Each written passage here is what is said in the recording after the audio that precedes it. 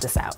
Access the control center, toggling on low power mode, and my wallpaper changes every single time in which I do it. But don't worry, I got you covered because I'm gonna be showing you how to do that in this video, along with a few other tips and tricks for your iPhone. Now that trick I just showed you, we're actually gonna jump into that later in the video, but I do have everything timestamped down below in case you wanna jump around. But if you're new to the channel, welcome. I go by Tech Me Out, and up here I like to talk about pretty much anything in relation to technology. So if that's something that you're interested in as well, you can feel free to hit the subscribe button and the like button if you feel inclined to. Now I have done videos like this in the past so I'm gonna link them down below in the description box because this is an ongoing series. So the first one we're gonna talk about is how you can basically close a bunch of different apps at once in your multitask switcher. So normally when you're in your multitask switcher view and you wanna close the app, you literally have to swipe one at a time. But with this trick, you can actually take about three fingers and swipe up, and it's gonna allow you to close more than one at a time. Now, for those of you that have been looking for a quicker and easier way to customize the look of, you know, your icons on your home screen, there's a new app that you can check out if you're on iOS 14.3. So what you're gonna have to do is head into your app store, and once you're in there, you're gonna download an application called Moloko.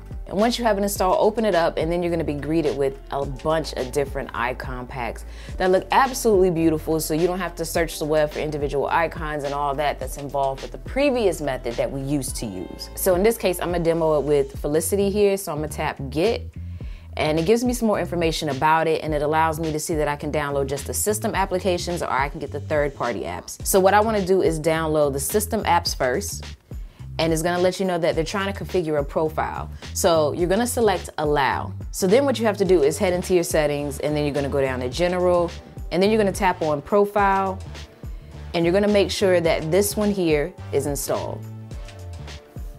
So now when we go to our home screen, you'll see that the custom icon pack has installed itself onto your phone. And what it does is it basically adds the system applications onto your home screen so you can just remove the ones that you don't want, keep the ones in which you do. But not only do I want to install the system apps, I also want to install the third-party applications. So I'm gonna head back into Moloko. This time I'm gonna select download for the third-party apps. I'm gonna select allow. And now it wants me to install another profile. So I'm gonna hit close here and then head back into my settings. And now within the profile section, I wanna tap on Felicity third-party apps and then select install. So then when you go back to your home screen, you'll be able to see that they installed a few third-party apps for you for the custom icons as well. But definitely an easier way to get the custom icons on your home screen without having to go search for them and then create the shortcuts and all that. But if you don't feel comfortable installing a profile on your phone and you do want to know how to go about customizing your icons like this by using shortcuts, I'm gonna link my video that I did a few weeks ago on that subject so you can check it out. Now with the release of iOS 14.3 came some improvements on the privacy features offered on your phone. And two areas in which it gives you more information on is app privacy and data linked details. And what this is gonna do is give you more details on what information from your phone is being shared with the apps in which you're installing. So the way you can go about getting that is heading into the App Store, and then once you're in there, let's go to something like Facebook. And then we're gonna scroll down here and you'll notice now that you have this section called app privacy. And you can see here the data that's used to track you and the data that's linked to you. And Facebook wants to know a lot of your personal information, y'all. And I like the fact that if you tap on learn more, it actually breaks down what it means by app privacy so that if you don't understand what it's talking about, you can basically become better informed by going in here. So that's pretty nice.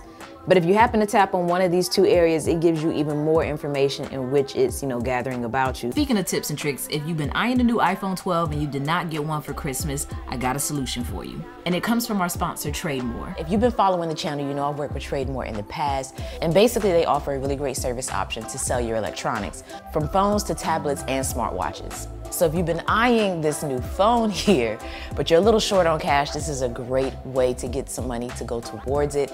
All you have to do is follow the link down below in the description box, select the device that you're interested in selling, provide a little bit of information about the device, condition, and specifications such as the carrier and the color. And then from there, you can review the offer details and it's gonna lock that in for you for 30 days. So you can kind of simmer on it a bit. You don't have to rush and make a decision. But if you do decide to go ahead and sell your item at that price, you're gonna then enter your contact information and shipping details so that you can receive your pre-packaged prepaid box to mail your device into TradeMore. And when it comes to payment, you'll receive a virtual MasterCard gift card or you can get paid via PayPal. Now, I've had my scenarios in the past where I've tried to sell electronics online and it didn't always go that smoothly, so it's great to know that there's a nice, trustworthy option out there that you can utilize to sell your electronics. And plus, on top of that, you can even buy certified, used, fully inspected devices to save a little bit of money. This is something I consider a really great option just when you want to, you know, give yourself a little self-care. Sell some tech so you can buy some tech. Now, for those of you that may have found yourself in a scenario where you may want to set up Face ID for someone else to access your phone, like maybe your partner, or maybe if you just change your look a lot, you can actually go into your settings for Face ID and set up alternate appearance. So the way you go about accessing this is you're gonna head into your settings and then you're gonna go down to Face ID and passcode. And then within here, you're gonna tap on set up an alternate appearance and then you can go about setting up that appearance. Now I wonder if this will work with a face mask. I haven't tried it, but it might be worth a try. Now if you've ever been on Safari and reading an article and kind of wanna streamline what you're seeing so that you don't see all the ads and everything like that, then something that you're gonna wanna turn on is reader view. The way you go about accessing that is to tap the double A's in the top left and then you're gonna tap on show show reader view. And as you can see, it kind of cleans up the things that we were seeing at first so that it just focuses on the text and the images in the article. But you can actually take this a step further in toggling on dark mode by tapping the double A's again and then choosing um, which type of color theme that you want. I personally like to use, you know, a white background with black text, or I might use this one or that one. But for whatever reason, reading white text on a black background does not fare well with my eyes. I know a lot of people like dark mode, and maybe it's just me. Y'all can let me know down below in the comment section. Do you have trouble as well seeing white text on black backgrounds? My eyes just, I don't, I don't know. It just, it hurts my head a little bit. Um, but you can also adjust your font if you wanted to. You do have a couple of options in which you could choose from within here.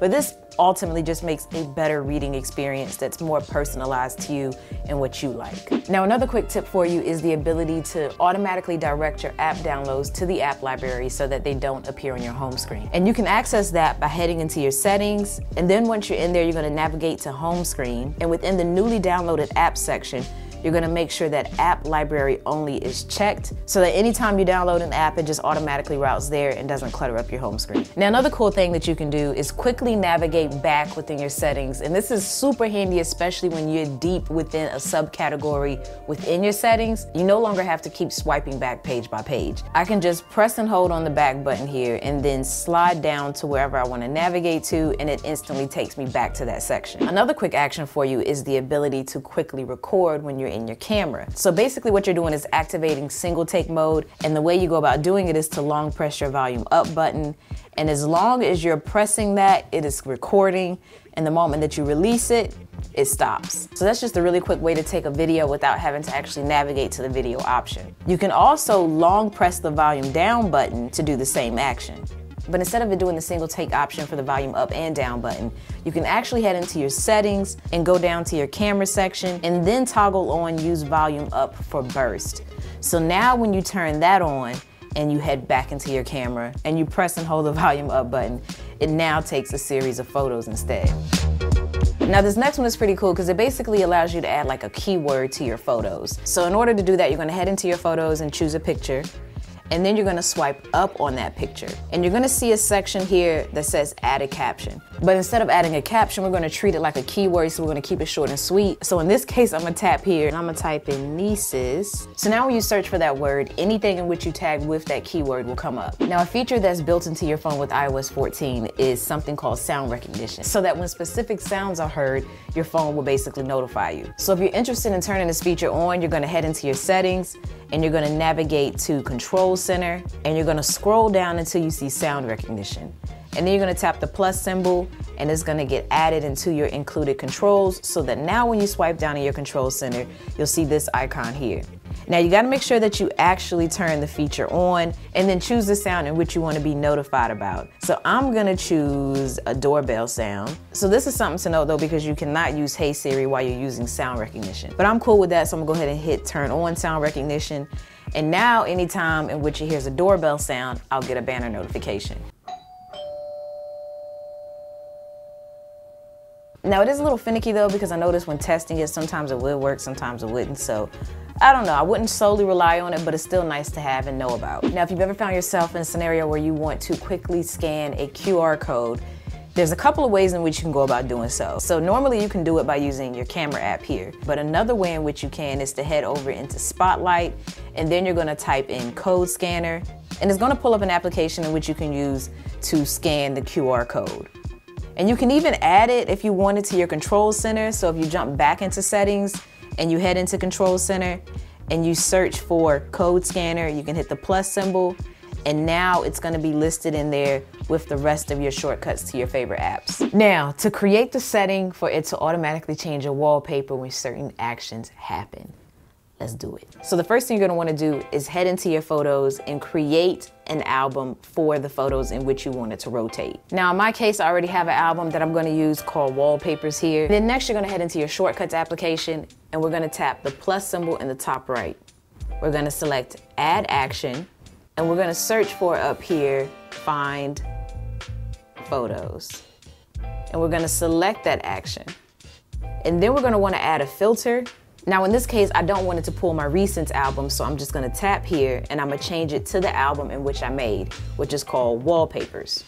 And then if you want, you can actually customize the sort by option so that it will go in and randomly choose a picture.